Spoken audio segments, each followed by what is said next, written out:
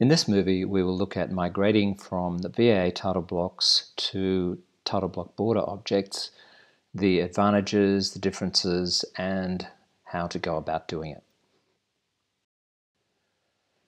The key advantages of switching from VAA title blocks to title block borders are that the layouts are simpler to edit or customize. You can have an unlimited number of custom fields. You can push issue and revision notes or drawing stamps to multiple files. Transmittals are much more reliable. You can also pull transmittal data from multiple files. You can add zones and grids to the integrated border. You get a live preview of the title block as you are entering data. You can use formulas to build a complex drawing number, for example, uh, you know, a number plus the revision plus an issue, you know, whatever it is. You can push sheet data, such as checked by or scale, to multiple sheets at the same time. You get better plot date functionality, and you have the option to control north points from a chosen heliodon. So what are the key differences between the two systems when you start using them? Well, firstly, the title block border object is going to replace all VAA title block objects in your drawing. And title block borders use a styled symbol definition rather than a simple symbol definition. The process for replacing one title block with another is different. The title block manager command replaces the VAA revise issue print command.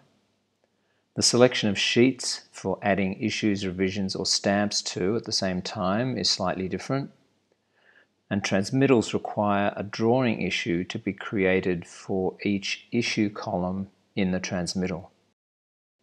So when should you make the switch?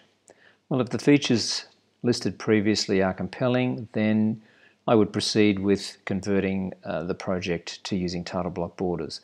Just be aware that existing transmittals will not convert to the new system. If your needs are more simple and you've only got a few sheets or you're not using transmittals, then you can continue to use uh, VA title blocks. But um, ultimately, you want to switch over to using title block borders, maybe for new projects. Both VA title blocks and the VAA revise issue print will continue working for the foreseeable future, but they will not see any more development.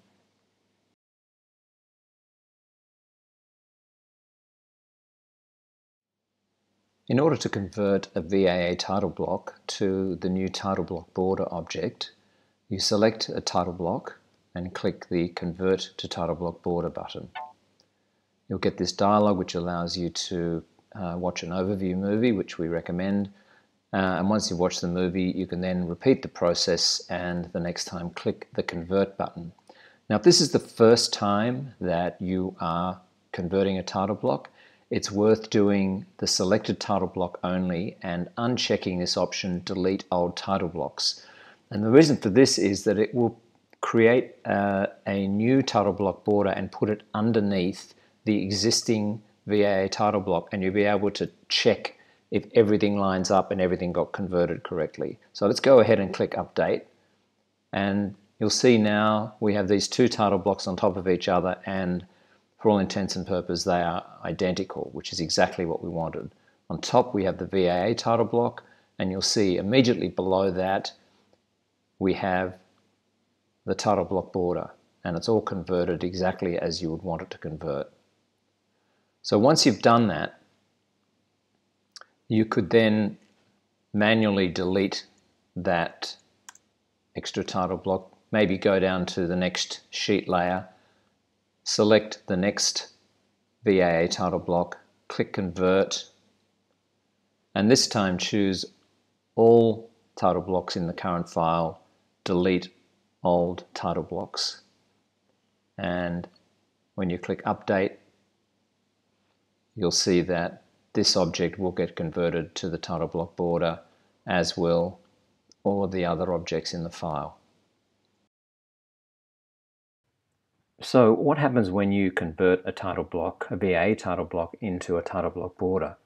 Well, let's go through this process and before we do, I'll just remind you that when you have uh, VA title blocks in a drawing, uh, we have this set to symbols and plugin objects, you'll see a folder called VAATB symbols and in that is where the symbols that are driving these title blocks are stored.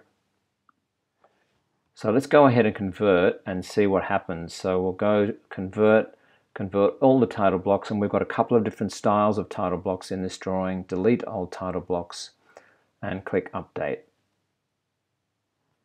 Now let's open this folder and see what's in there now. And you'll see there's two additional title blocks in here. These are the ones, the converted title blocks that you'll now use. And you'll notice that they are red, which means that they are a styled symbol. Uh, they have the same name as before, but they have the word style appended to the end of the name. Now, uh, we had two existing title blocks in this drawing, and these got converted to two different styles. So how do you edit these styles? Well, there's a few ways you can jump into the style editor. You can right click in this location and choose edit. You can right click on the title block itself and choose edit plugin style or you can come over here and go edit style as well. All those three things will open up the title block border style dialog. Now there's only a subtle difference between this dialog and the dialog that appears when you click title block border settings. And the subtle difference is that the word settings is here instead of style and all of these icons here are grayed out so you can't change whether something is controlled by the style or not. So let's go back into edit the style again and just have a quick look in there. So note that this says title block style and now we can see and click these buttons here. The key things here are that this is where you edit the title block layout by clicking this button here. And that will take you into the symbol that's driving. It'll take you into this red symbol here for example. And we can see here that we we have the the title block in here. And we can go ahead and, and edit it. Uh, that's a group, we can ungroup that. And as we select each block of text that is dynamic, you'll see that there's a special little section down the bottom here where you can choose what value in the title block that that is, or what field in the title block that is linked to. But there'll be another movie that describes uh, that in more detail. So once you have these symbols and you have customized them, you can either copy them into your template file or you can save them out into the um, default content system. And you can do that by right clicking and choosing export. And you'll want to export them out to uh, the user folder and object styles title block border and you won't see any any files in here so you'll just select that uh, click OK Vectorworks will create a file and save these symbols out there and once you do that then on any new project when you select the title block border tool your saved title blocks will be available in the tool. So let's see where the equivalent options are for each of the title blocks. The object info palette for the title block border has fewer options as these are folded into the main settings dialog. In the edit title block dialog you'll be familiar with the drawing info, project info, revision journal and issue journal tabs and the equivalents are the sheet data tab, the project data tab, the revision data and issue data tab in the title block border settings dialog. The North Point and drawing stamp dialogues from the VA title blocks have been rolled into the title block border settings dialog and you'll see the North Point here and the drawing stamp here and for the North Point you'll note that uh, here's the use the heliodon rotation angle and if you turn that on the uh, North Point will use the rotation angle from the heliodon. If there's more than one heliodon, you'll get asked which one you wish to use. And finally, Page and border info has now been shifted into the main title block border settings dialog as well. The VAA revise issue print command has now been replaced by the title block manager which has a separate dialog for choosing which sheets and title blocks you want to add issues, revisions or stamps to.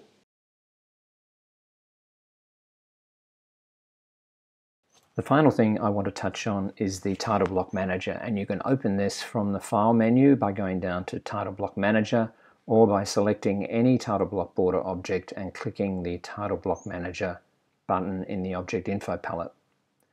Now if you have multiple files open, when you uh, click the button here, you will be asked if you want to load all of the currently open files into the Title Block Manager or just the active one and this will determine which sheets in which files you're pushing revisions, issues, drawing stamps, uh, and so on to. So it's important to to be aware of uh, which sheets and drawings that you're actually acting on. So the first thing to note here is the size of the dialog and when you see this previous and next buttons here it means that there's more information to display. And to avoid having to use the previous and next buttons, you can just make the dialog bigger and most of the fields should appear uh, without having to do that, depending on the size of your display. In the Manage Sheet Data subdialog, you can change the order of the fields. So for example, you mightn't be using any of these other fields, but you might use the notes field. So you can click and drag the notes field up here and it's going to appear in this list further up um, and you will then avoid having to click the next button when you open the dialog. So when I click OK now, you'll see that the notes field is actually moved up here so I no longer have to click to the next screen to get to it. Now it's important here to note that this dialog here is what determines which sheets you're acting on. And as I mentioned before, we only have one file open at the moment. If you had multiple files open, you would see each of the files listed here. And you can open and close the files using the disclosure arrow. And you can select or deselect all of the title blocks in a file by clicking against the file name. Or you can individually turn them on and off as well. So if you wanted to push a revision out to all the sheets, then you would come in here first, you'd select these, and then you do the revision. Note that you can save sets so that in a project where you're sending different sets of drawings to different groups of people or, or whatever, uh, you can save the, the setups of which sheets are selected here, and that can be really um, useful. If you are wanting to push revision data, issue data, drawing stamps, or pull transmittal information from other documents, then you click the select folder button and you can select a project folder and all of the files, all of the Vectorworks files in that folder will be listed in this dialog. So let's go ahead and add a revision here and this is fairly familiar. But uh, it's nice that you actually see that revision uh, listed here. And we might just turn off a couple of these and do another one.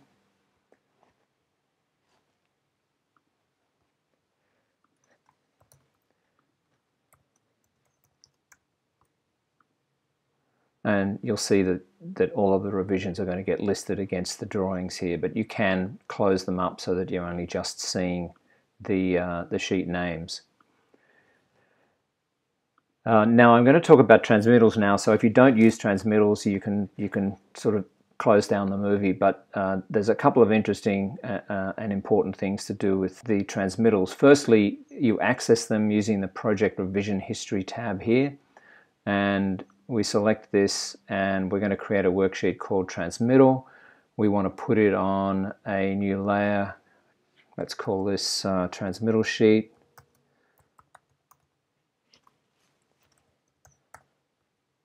Transmittal sheet.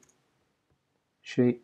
This is where you specify the starting row for the sheets and the row count. There will be a more detailed explanation of this in a separate movie, but I just particularly wanted to show this now.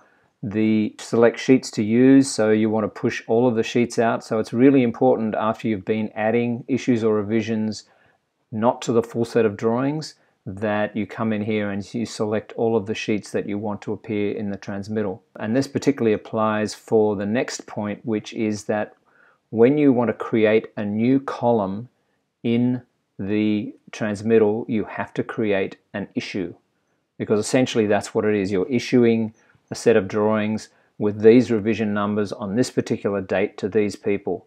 So this is a, a critical difference between the way this title block manager works compared to the VA revise issue print. So let's go ahead and add an issue here. And say it was to the client. Click OK. So we've got one issue there and essentially that's all we need to do because we've, we've ticked this box here. When we click OK, You'll see the transmittal sheet got created as we specified and here's the transmittal. And then you can see there's our, um, our revisions uh, listed there. There's the issue for this particular one. And again, if you want to create another issue, to create a new column in the, in the worksheet, then you create a new issue and and that's the way it works. You can do it en masse like this, or you can do it sheet by sheet using the title block border settings button.